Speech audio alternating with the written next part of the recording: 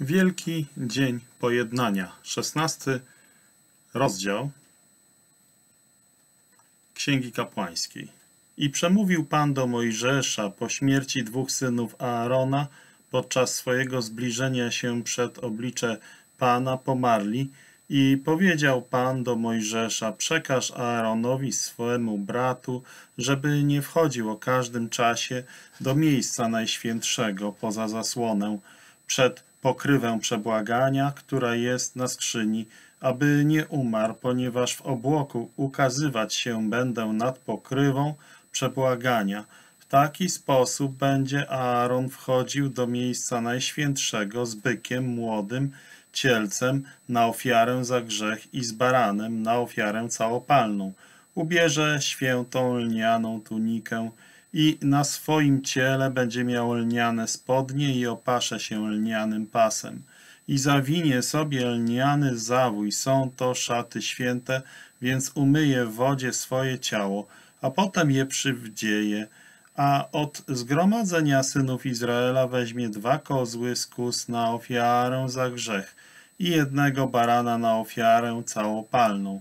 Następnie Aaron przyprowadzi byka na ofiarę za własny grzech i przebłaga za siebie oraz za swój dom. Potem weźmie dwa kozły i postawi je przed obliczem Pana u wejścia do namiotu spotkania. Tam Aaron zrzuci losy o te dwa kozły.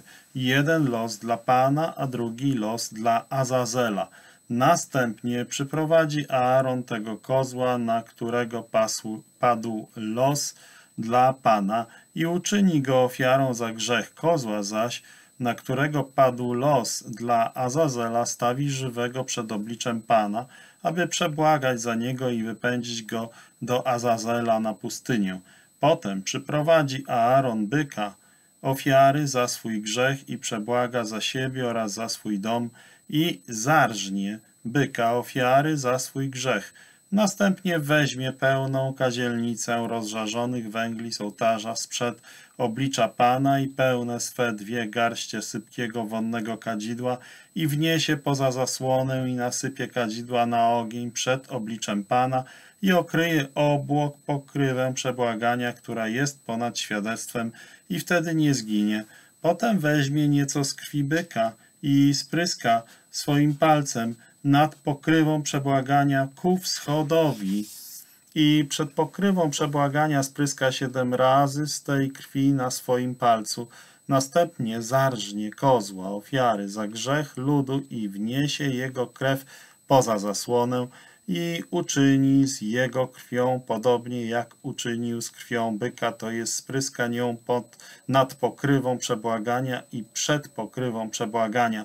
Tak dokona przebłagania za miejsce najświętsze od nieczystości synów Izraela i ich przestępstw z powodu wszystkich ich grzechów i tak też uczyni z namiotem spotkania stojącym u nich pośród ich nieczystości.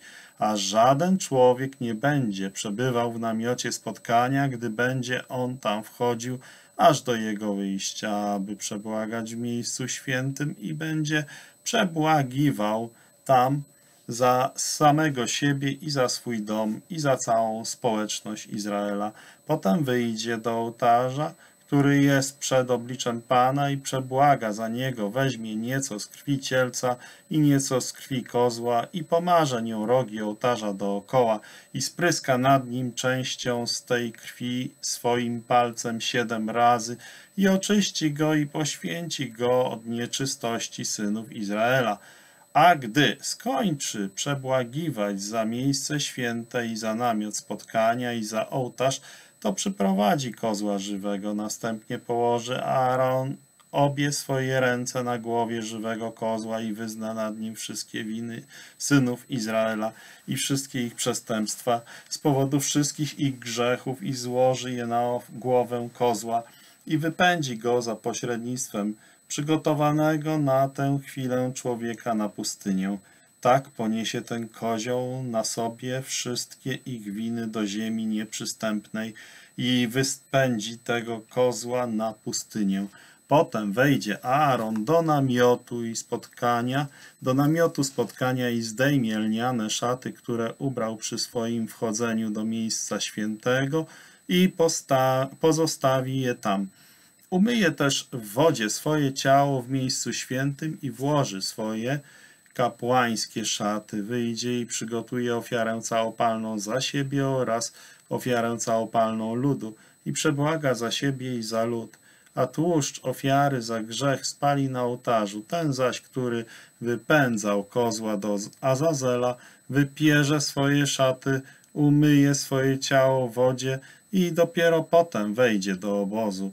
A byka ofiary za grzech i kozła ofiary za grzech, który krew dla przebłagania została wniesiona do miejsca świętego, kapłan każe wynieść na zewnątrz obozu, gdzie spalą w ogniu ich skóry, ich mięso i ich nieczystości. Ten zaś, który je spali, wypierze swoje szaty i umyje w wodzie swoje ciało i dopiero potem będzie mógł wejść do obozu. I będzie to dla was wieczystą ustawą. W miesiącu siódmym, w dziesiątym dniu tego miesiąca ukorzycie swoje dusze i nie będziecie wykonywać żadnej pracy, zarówno tubylec, jak i przychodzień zamieszkały wśród was. W tym dniu bowiem przebłagiwać się będzie za was, aby was oczyścić. Zostaniecie oczyszczeni od wszystkich waszych grzechów przed obliczem Pana. Będzie to dla was szabat sabatniego odpoczynku. Ukorzycie zatem wasze dusze, to wieczysta ustawa. Przebłagiwać zaś będzie kapłan, którego namaścisz i któremu przekażesz odpowiedzialność, aby sprawował służbę kapłańską zamiast swego ojca, a wdzieje on przy tym lniane szaty, szaty święte. Przebłaga on zatem za miejsce najświętsze i za namiot spotkania i przebłaga za ołtarz i za kapłanów i przebłaga za cały lud społeczności. Będzie to dla was wieczystą ustawą, aby raz w roku przebłagiwać za synów Izraela z powodu wszystkich ich grzechów i uczynił tak, jak Pan przykazał Mojżeszowi. Azazel jest to nazwa niedostępnego pustkowia. Zbitka dwóch słów. Kozioł odejścia. Wielki Dzień Pojednania opisany w trzeciej księdze Mojżeszowej 16 rozdziału od 1 do 34 wersetu, czyli Księga Kapłańska 16. Jest to rozdział o centralnym znaczeniu w Księdze Kapłańskiej. Stanowi on podstawę jest wyjaśniony w liście do Hebrajczyków. Dwaj synowie Aarona zginęli za ofiarowanie Panu obcego ognia, jak czytamy to w trzeciej księdze Mojżeszowej od pierwszego do drugiego wersetu w dziesiątym rozdziale. Czyli możemy to przeczytać. Dziesiąty rozdział, pierwszy i drugi werset. Wówczas synowie Aarona, Nadab i Abichu wzięli kazielnicę, każdy swoją, włożyli w nie ogień i nałożyli na nie kadzidła i ofiarowali przed obliczem Pana obcy ogień, którego im nie nakazał. Wtedy wyszedł ogień z przed oblicza Pana i pochłonął ich, tak że zmarli przed obliczem Pana. Przypomina się nam o tym w wersecie y, trzecim rozdziału szesnastego dokładnie w wersecie pierwszym 16 rozdziału trzeciej Księgi Mojżeszowej i przemówił Pan do Mojżesza po śmierci dwóch synów Aarona podczas swojego zbliżenia się przed oblicze Pana pomarli. I przypomina się nam o tym w wersecie pierwszym rozdziału 16 trzeciej Księgi Mojżeszowej, abyśmy byli pod wrażeniem powagi każdego, każdego podejścia do świętej obecności Boga. Kapłani, a nawet najwyższy kapłan mieli zakaz wchodzenia przez dowolny czas do najświętszego miejsca, do wnętrza zasłony. To jest kontrast do Pana Jezusa w rzeczywistym fakcie Jego osobistej chwały, bo On był zawsze na mocy Jego osoby w bliskiej, intymnej, bezpośredniej obecności Boga. Aaron jest typem Chrystusa jako najwyższego kapłana, przedstawiciela jego ludu, a to, co robi dla ich dobra, należy odróżnić od tego, do czego jest uprawniony osobiście. Trzecia Księga Mojżeszowa, 16 rozdział, drugi werset. I powiedział Pan do Mojżesza, przekaż Aaronowi swemu bratu, żeby nie wchodził o każdym czasie do miejsca najświętszego poza zasłonę, przed pokrywem przebłagania, która jest na skrzyni, aby nie umarł, ponieważ w obłoku ukazywać się będę nad pokrywą przebłagania. To ten werset mówi nam, że sam Bóg będzie obecny w obłoku, na tronie łaski, ubłagalni. Tylko w tym jednym dniu w roku Aaron mógł wejść do miejsca najświętszego. Trzecia Księga Mojżeszowa, 16 rozdział, 29 werset. I będzie to dla was wieczystą ustawą w miesiącu siódmym, w dziesiątym dniu tego miesiąca ukorzycie swoje dusze i nie będziecie wykonywać żadnej pracy, zarówno tubylec, jak i przychodzień zamieszkały wśród was. Wskazuje, że miało to być dziesiątego dnia siódmego miesiąca. Pan w pełni opisał rytuał, który Aaron miał ściśle przestrzegać. Miał przynieść młodego byka na ofiarę za grzech i barana na ofiarę całopalną. Po obmyciu ciała w wodzie miał włożyć nie swoje szaty chwały i piękna, ale lniane, jak to mówi nam czwarty werset, zamiast je Y, czwarty werset 16 rozdziału. Ubierze świętą lnianą tunikę i na swoim ciele będzie miał lniane spodnie i opasze się lnianym pasem i zawinie sobie lniany zawój. Są to szaty święte, więc umyje w wodzie swoje ciało, a potem je przywdzieje. Więc jak widzimy, jest to wyraźnie podkreślone. Mówi to o moralnej czystości Pana Jezusa w Jego doskonałym człowieczeństwie. Ze zgromadzenia miał też wziąć dwoje koźląt na ofiarę za grzech i jednego barana na ofiarę całopalną, o czym czytamy w wersecie piątym. A od zgromadzenia synów Izraela weźmie dwa kozły z kus na ofiarę za grzech i jednego barana na ofiarę całopalną. Następnie Aaron miał najpierw przedstawić przed Panem swojego cielca ofiary za grzech, nie zabijając go jeszcze. Jak to pokazuje szósty werset, następnie Aaron przyprowadzi byka na ofiarę za własny grzech i przebłaga za siebie oraz za swój dom. Choć to właśnie on miał dokonać przebłagania za niego i jego dom. Podobnie miał przedstawić dwa kozły przed Panem przy drzwiach przybytku, jak to widzimy w siódmym wersecie. Potem weźmie dwa kozły i postawi je przed obliczem Pana u wejścia do namiotu spotkania. Po tym miał rzucić losy na dwa kozły, jeden los na Pana, a drugi na kozła ofiarnego, bo tylko jeden miał być ofiarowany Panu jako ofiara za grzech, Potem został on ofiarowany, ale drugi był znowu przedstawiony przed Panem żywy. Chociaż jest powiedziane, że pierwszy kozioł został ofiarowany, to jednak dopiero w trzeciej księdze Mojżeszowej, w trzeciej księdze Mojżeszowej, szesnasty rozdział, piętnasty werset, to będzie stronę dalej. Skleiły się kartki. Mamy. Następnie zarżnie kozła ofiary za grzech ludu i wniesie jego krew poza zasłonę i uczyni z jego krwią podobnie jak uczynił z krwią byka. To jest spryska nią nad pokrywą przebłagania i przed pokrywą przebłagania. Czyli widzimy, to jest tak wyraźnie w 15 wersecie powiedziane, że kozioł został albo zostanie, został zabity. Najpierw został zabity cielec dla Aarona i jego domu, o czym możemy zobaczyć. 11 werset. Potem przyprowadzi Aaron byka ofiary za swój grzech i przebłaga za siebie oraz za swój dom i zarżnie byka ofiary za swój grzech. Tutaj widzimy wyraźnie. Następnie Aaron miał przynieść z ołtarza kadzielnicę pełną węgli, a jego ręce pełne drobno zmielonego słodkiego kadzidła włożonego do ognia, aby utworzyć chmurę kadzidła, która miała przykryć tron łaski, ubłagalnię.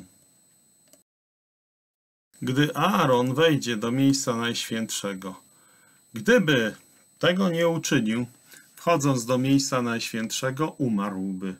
Musi też przynieść ze sobą trochę krwi cielca i pokropić nią palcem po stronie wschodniej i przed tronem łaski ubłagalnią siedem razy, co czytamy w czternastym wersecie. Potem weźmie nieco z krwi byka i spryska swoim palcem nad pokrywą przebłagania ku wschodowi i przed pokrywą przebłagania spryska siedem razy z tej krwi na swoim palcu. I teraz widzimy, że możemy zająć się duchowym znaczeniem tego. Duchowe znaczenie tego wszystkiego wskazuje nam list do Hebrajczyków, 9 rozdział od 11 do 12 wersetu. Chrystus zaś, obecny arcykapłan zaistniałych dóbr przez większy i doskonalszy namiot nie ręką zbudowany, to jest nie z tego stworzenia, ani nie przez krew kozłów i cieląt, ale przez własną krew wszedł raz na zawsze do świątyni, dokonując wiecznego odkupienia. Czyli lecz Chrystus przyszedł jako arcykapłan przyszłych dobrych rzeczy, z większym i doskonalszym przybytkiem, nieuczynionym rękami, to znaczy nie z tego stworzenia, nie z krwią wołów i cielców, lecz lub przez własną krew, wszedł raz na zawsze do miejsca najświętszego, uzyskawszy wieczne odkupienie. Niektórzy wyobrażali sobie, że Pan Jezus dosłownie zabrał swoją przelaną krew do nieba, gdy tam wstąpił, ale jest to mylenie typu z antytypem. Ze względu na wartość przelania Jego krwi, wszedł On do nieba w imieniu swego odkupionego ludu, uzyskując wieczne odkupienie. Tron Boży został doskonale obroniony na mocy krwi Chrystusa przelanej na Kalwarii i Jego zmartwychwstanie i wstąpienie do nieba potwierdziło fakt, że odkupienie zostało w pełni dokonane. Teraz musi zabić kozła, o którym wyraźnie powiedziano, że jest to kozioł dla ludu, jak czytamy w 15 wersecie trzeciej Księgi Mojżeszowej, 16 rozdział. Następnie zarżnie kozła ofiary za grzech ludu i wniesie jego krew poza zasłonę i uczyni z jego krwią podobnie jak uczynił z krwią byka, to jest spryska nią nad pokrywą przebłagania i przed pokrywą przebłagania.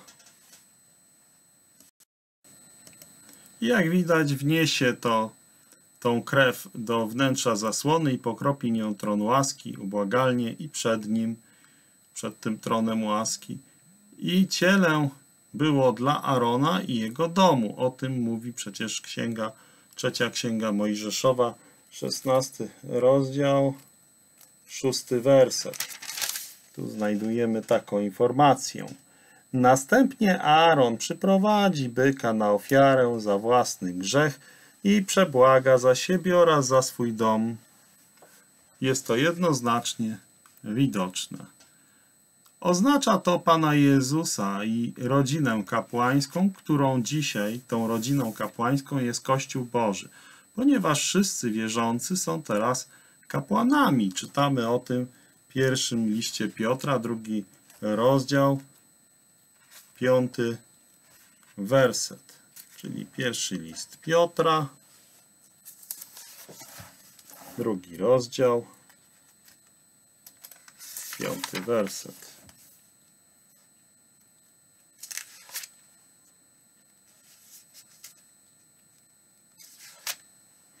Pierwszy z Piotra, drugi rozdział.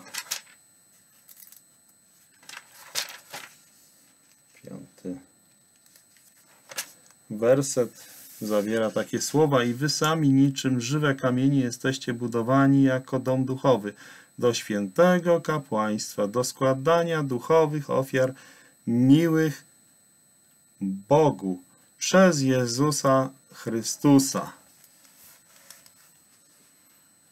Dwa kozły obrazują jedną ofiarę Chrystusa w imieniu Izraela, z których pierwsza jest tą, która rzeczywiście czyni zadośćuczynienie przez bycie ofiarowanym, ponieważ jednak Izrael nie uznał ofiary Chrystusa, chociaż ona rzeczywiście była za nich, wyniki tej ofiary nie będą zastosowane do Izraela i Judy teraz, ale później, jak w przyszłości zacznie się nowe przymierze, kiedy w nowym przymierzu Izrael i Juda w końcu zwrócą się do Pana. Dlatego najwyższy kapłan miał położyć obie ręce na głowę żywego kozła, wyznając nad nim wszystkie nieprawości synów Izraela, wkładając je na głowę kozła i odsyłając go przez odpowiedniego człowieka na pustynię. Czytamy o tym w trzeciej księdze Mojżeszowej, 16 rozdział, werset drugi. I powiedział Pan do Mojżesza, przekaż Aaronowi swemu bratu, żeby nie wchodził o każdym czasie do miejsca najświętszego poza zasłonę, przed pokrywę przebłagania, która jest na skrzyni, aby nie umarł, ponieważ w obłoku ukazywać się będę nad pokrywą przebłagania. Tak więc pojednanie, chociaż zdecydowanie dokonane za Izraela, nie ma w tym czasie zastosowania do Izraela. Ich grzechy jeszcze nie minęły, chociaż zostały wyznane przez najwyższego kapłana, czyli przez Chrystusa, a wartość pojednania jest dla Izraela opóźniona, podczas gdy naród jest rozproszony między narodami na puszczy, jak uderzającym świadectwem jest to, że Bóg doskonale wiedział, że Izrael odrzuci swego Mesjasza i pozostanie długo w smutnej niewierze. Po odesłaniu kozła ofiarnego na pustynię, Aaron miał wejść do zewnętrznej świątyni przybytku, zdjąć swoje lniane szaty i pozostawić je tam, obmyć swoje ciało i włożyć normalne szaty chwały i piękna, a następnie wyjść i złożyć ofiarę całopalną za siebie i za lud. Tak komunikuje nam trzecia Mojżeszowa Księga, 16 rozdział, 24 werset, czyli umyje też w wodzie swoje ciało w miejscu świętym i włoży swoje kapłańskie szaty, wyjdzie i przygotuje ofiarę całopalną za siebie, oraz ofiarę całopalną ludu i przebłaga za siebie i za lud. Jego wyjście w tych szatach oznaczało, że dzieło pojednania zostało dokonane ku zadowoleniu Boga. Ofiara całopalna oznaczała, że Bóg był uwielbiony w doskonałości ofiary. Zauważono tu również, że tłuszcz z ofiary za grzech miał być spalony na ołtarzu. Było to nakazane w trzeciej księdze Mojżeszowa, czwarty rozdział, ósmy do dziesiątego wersetu, czyli kapłańska, 4 od 8 do 10. Cały zaś tłuszcz byka ofiary za grzech weźmie z niego, to znaczy tłuszcz pokrywający wnętrzności i cały tłuszcz, który jest przy wnętrznościach i obie nerki i tłuszcz, który jest na nich, który jest na polędwicach i płat wątroby nad nerkami, oddzieli je tak, jak oddziela się z cielca rzeźnej ofiary pokoju i spali je kapłan na ołtarzu całopalnym. I Dalej widzimy, tak, całopalny, do dziesiątego werseta. Chociaż tutaj widzimy, że w przeciwnym razie ciała tych zwierząt, których krew została zabrana do świątyni, były palone poza obozem. Na to wskazują kolejne dwa wersety, czwarty rozdział, jedenasty i dwunasty werset. Skórę zaś byka i całe jego mięso wraz z głową i kończynami z jego wnętrznościami i nieczystościami całego byka wyniesie na zewnątrz obozu, na miejsce czyste, na wysypisko popiołu i spali go na drwach w ogniu. Na wysypisku popiołu będzie spalony. I potwierdza nam to również trzecia Księga Mojżeszowa, 16 rozdział, 27 werset. A byka ofiary za grzech i kozła ofiary za grzech, których krew dla przebłagania została wniesiona do miejsca świętego, kapłan każe wynieść na zewnątrz obozu, gdzie spalą w ogniu ich skóry, ich mięso i ich nieczystości. Czyli widzimy wyraźnie, mówi to o Chrystusie jako ofierze za grzech, która ponosi nieskazitelny wyrok Boga. Ten, kto palił zwierzęta, miał wyprać swoje ubranie i wykąpać swoje ciało w wodzie, bo tak mówi 26 werset tego rozdziału. Ten zaś, który wypędzał kozła, do Azazela wypierze swoje szaty, umyje swoje ciało w wodzie i dopiero potem wejdzie do obozu. Pokazując w ten sposób, że kontakt z tym, co zostało poddane pod Boży sąd, miał wpływ brudzący, kalający. Choć nigdy nie nastąpiło spalenie, choć gdy, choć gdy nastąpiło spalenie, nie rozprzestrzeniało się już żadne splugawienie po tym spaleniu. Więc nigdy po spaleniu to splugawienie już się nie rozszerzało. A potem mamy informację, że dziesiątego dnia siódmego miesiąca Izrael miał uznać za stałe Boże zalecenie, że powinni trapić swoje dusze i nie wykonywać żadnej pracy – to mamy w 29 wersecie zakomunikowane i będzie to dla was wieczystą ustawą. W miesiącu siódmym, w dziesiątym dniu tego miesiąca ukorzycie swoje dusze i nie będziecie wykonywać żadnej pracy, zarówno tubylec, jak i przychodzień zamieszkały wśród was. I to mówi o uniżeniu się poważnym samoosądzie. Kiedy dotrzemy do trzeciej księgi Mojżeszowej, 23 rozdział, to jest parę rozdziałów dalej, zobaczymy, jak to jest podkreślone, kiedy omawiane są ustalone czasy Jehowy. Trzecia Księga Mojżeszowa, 16 rozdział 26 do 32 wersetu, jak już dzisiaj czytaliśmy, to potwierdza. Te ustalone czasy mówią o boskim postępowaniu od, czasy, od czasu ofiary Chrystusa na Kalwarii aż do poranka tysiącletnich błogosławieństw dla Izraela. Wielki Dzień Pokuty obrazuje narodową pokutę Izraela, która będzie miała miejsce, gdy Pan Jezus, ich Mesjasz, ukaże się im, gdy będą w trakcie wielkiego ucisku. Będą patrzeć na mnie, którego przebili, tak będą go opłakiwać, jak się opłakuje swego jedynego syna i smucić się będą nad nim, jak się smuci nad swym pierworodnym. Tak nam mówi Księga Zachariasza, 12 rozdział, 10 werset. Lecz na dom Dawida i na mieszkańców Jerozolimy wyleję ducha łaski i błagania o łaskę. Wtedy spojrzą na mnie, na tego, którego przebili i będą go opłakiwać jak przy opłakiwaniu jedynaka i będą gorzko płakać nad nim jak przy gorzkim płaczu nad pierworodnym.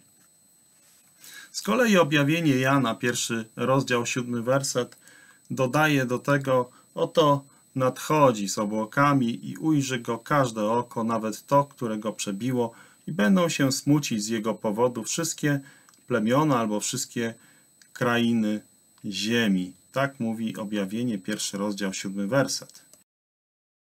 Tam tak, oto nadchodzi pośród obłoków i zobaczy go każde oko, także ci, którzy go przebili i opłakiwać go będą wszystkie plemiona ziemi.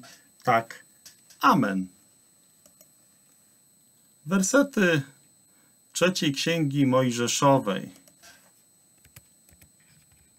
od 32 do 34 wersetu 16 rozdziału kładą szczególny nacisk na pracę kapłana, który jest namaszczony i poświęcony, aby służył jako kapłan na miejscu swego ojca. Typowo tym kapłanem jest Chrystus, który był nie tylko wielką ofiarą, jakiej potrzebował Izrael, lecz także jedynym pośrednikiem między Bogiem a ludźmi, tym, który się wstawia i który ofiarował się za nas. To On jest tym, przez którego Izrael jest błogosławiony, a także przez którego cała służba świątynna jest uświęcona. On czyni zadośćuczynienie za kapłanów, czyli rodzinę kapłańską, a więc Kościół, zgromadzenie, i za lud, czyli za Izraela i Judę. Zasada ta miała nie dopuszczać żadnego zaniechania, żadnej przerwy, ale miała być wiernie zachowywana każdego roku, bo tak mówi nam 16 rozdział trzeciej Księgi Mojżeszowej, 34 werset. Będzie to dla was wieczystą ustawą, aby raz w roku przepłagiwać za synów Izraela z powodu wszystkich ich grzechów i uczynił tak, jak Pan przykazał Mojżeszowi.